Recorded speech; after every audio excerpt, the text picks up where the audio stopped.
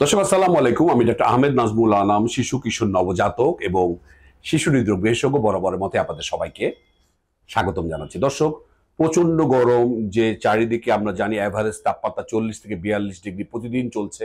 সূর্য বিষুবরেখার একদম মাঝে মাঝে বরাবর আসার কারণে অনেক এশিয়ার অনেক দেশে কিন্তু আপনারা জানেন তীব্র যে তাপ, সেটি বহমান এবং এই কারণে কিন্তু হিট স্ট্রোকের মতো বিভিন্ন সমস্যাগুলো কিন্তু ছড়িয়ে পড়েছে এবং আপনাদের একটি প্রশ্ন খুব থাকে যে, স্যার বাবুদেরও হিট স্ট্রোক হয় কিনা, সুতরাং আমি বলব ইয়েস বাবুদের, যে ছোট বাবুদের, চার বছর বয়সী বাবুদের কিন্তু হিট স্ট্রোক হতে পারে, সুতরাং এই ব্যাপারে আপনাদের সতর্ক থাকতে হবে। বাবুদের কেন হিট স্ট্রোক হয়, সেটি একটি কারণ আমরা কিছু কারণ আমি আপনাদের জানাতে চাই। বাবুদের ওজনের তুলনায় বাবুদের যে বডি সার্ফেস এরিয়া সেটা কিন্তু বেশি। যার ফলে বাবুদের যখন তাপমাত্রা বা রোদ প্রচণ্ড রোদে বাবুদের শরীরে এটি বেশি পরিমাণ শোষিত হয় এবং বাবুদের হিট স্ট্রোকের এই সমস্ত ছোট বাবুদের হিট স্ট্রোক হওয়ার প্রবণতা কিন্তু বেড়ে যায়।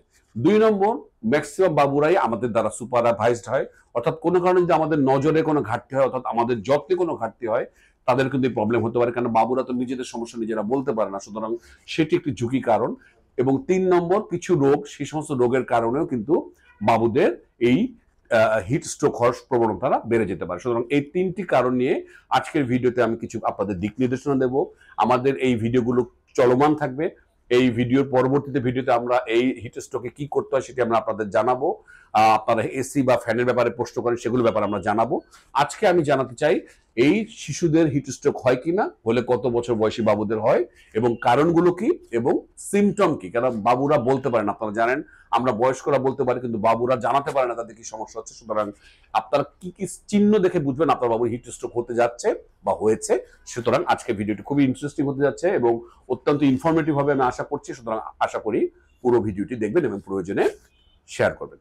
তো দর্শক, আমি যেটি বলেছি যে চার বছরের নিচের বাবুদের কিন্তু হিট স্ট্রোক প্রবণতা রয়েছে, আমি যেটি নাম্বার ওয়ান কারণ বলেছিলাম যে বাবুদের আমার, তাদের ওজনের চেয়ে বডি সারফেস এরিয়াটা বেশি। অর্থাৎ অনেক বেশি খুব অনেক বেশি আলো কিন্তু তারা ধরে রাখতে পারে বা রোদ ধরে রাখতে পারে, যার ফলে খুব দ্রুত হিট হয়ে যায়।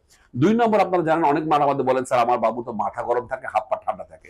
এর কারণ হচ্ছে বাবুদের বিভিন্ন জৈবিক, রাসায়নিক প্রক্রিয়া এগুলো খুব বেশি পরিমাণ চলমান থাকে বাবুদের যে যে শরীরে বিভিন্ন ধরনের জৈব রাসায়নিক প্রক্রিয়া চলতে থাকে, কারণ বাবুদের খুব দ্রুত গ্রোথ হয় আপনারা জানেন, এর জন্য বাবুদের শরীর এমনি একটু বেশি হিট হয়। সুতরাং আরও যদি আপনি তীব্র দাব তাপদাহতে নিয়ে যান, তাহলে কিন্তু বাবুরা আরও হিট স্ট্রোকের ঝুঁকিতে পড়বে। তিন নম্বর, আমাদের শরীরে যে ন্যাচারাল কুলিং যে সিস্টেম এটা ম্যাচিউর থাকে, অর্থাৎ আমাদের শরীরে রোদ হলেও, রোদ আসলেও বা তাপ ঢুকলেও ঘামের মাধ্যমে এটি বেরিয়ে যায়। কিন্তু বাবুদের ক্ষেত্রে কিন্তু আপনারা জানেন যে এই সিস্টেমটা অতটা ম্যাচিউর নয়, যার ফলে বাবুদের শরীরে অতিরিক্ত তাপ ধরে রেখে কিন্তু হিট স্ট্রোক হতে পারে। দুই নম্বর যেটি কারণটি আমি বলেছিলাম যে বাবুরা যদি সুপারভাইজ না থাকে, অর্থাৎ কোনো কারণে যদি আমাদের যত্নের ঘাটতি থাকে, কোনো রকম যদি আমাদের কোনো টেক কেয়ারে ঘাটতি থাকে, তাহলে বাবুরা কিন্তু হিট স্ট্রোকের প্রবণতায় পড়তে পারে। দেখা যাচ্ছে বাবুর গরম গরম লাগছে, আমি সিগন্যালটা বুঝতে পারলাম না এমন কোনো জায়গায় আমি নিয়ে গেলাম যেখানে বাবু গরমে বেশি লাগছে, আমি ধরতে পারছি না।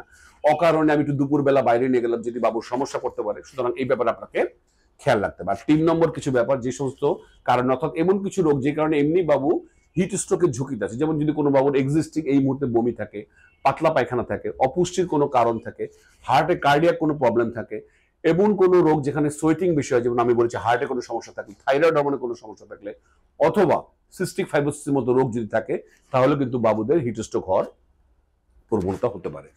তাহলে এখন আমাদের প্রশ্ন হচ্ছে, আমরা কীভাবে বুঝব যে হিট স্ট্রোক হচ্ছে বা হতে যাচ্ছে?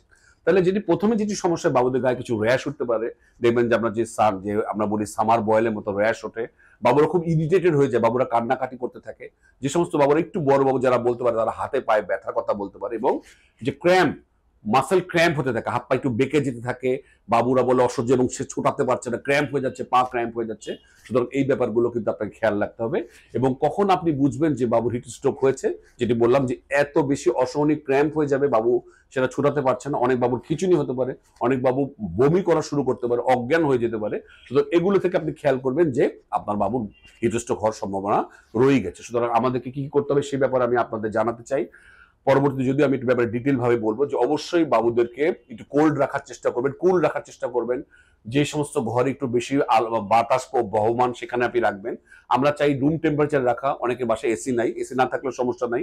আপনি ঘর ঠান্ডা রাখার জন্য যা যা করণীয় সেটি আপনারা করবেন। আমরা বলব চব্বিশ থেকে ছাব্বিশ ডিগ্রি সেন্টিগ্রেড বাবুদের জন্য চমৎকার একটি ওয়েদার সুতরাং ঘরে আপনি রাখবেন। অযাচিত দুপুর বারোটা থেকে বিকাল চারটার ভিতরে আপনার বাবুকে বাইরে নেবেন না, তাহলে কিন্তু হিট স্ট্রোক হওয়ার সম্ভাবনা থাকবে এবং অবশ্যই আপনার বাবুর যে সমস্ত সিগন্যালগুলোর কথা আমি বললাম এবং যে সমস্ত রোগের কথা বললাম, সেগুলো যদি লক্ষণ থাকে, অবশ্যই আপনি আগে থেকে সতর্ক হবেন, অল্প অল্প করে পানি খাওয়াবেন কোন বয়সে কতটুকু পানি খাওয়াতে সে ব্যাপারে আমি আমার ডিটেল ভিডিও আছে, আশা করি সেটা দেখবেন।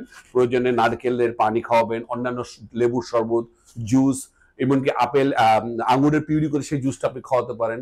যে কোনোভাবে বাবুর হাইড্রেশন যদি মেনটেন থাকে এবং বাবু যদি সারাদিনে আটবার মিনিমাম চব্বিশ ঘন্টায় প্রস্তাব করে, তাহলে আপনার বাবু বুঝবেন হাইড্রেশন ঠিক আছে, তাহলে হিট স্ট্রোকের ঝুঁকি থেকে সে আশা করি মুক্ত থাকবে। দর্শক, এই এই তীব্র তাপদাহর এই সময়গুলোতে আমরা পরবর্তী কয়েকটি ভিডিও দেবো। আশা করছি সব কয়েকটি ভিডিও দেখ- দেখার জন্য আমাদের এই চ্যানেলে নজর রাখবেন। আজ এ পর্যন্তই। পরবর্তী নতুন কোনো টপিক নিয়ে আবার হাজির হব। সেই পর্যন্ত বরাবরের মতোই। আল্লাহ হাফেজ।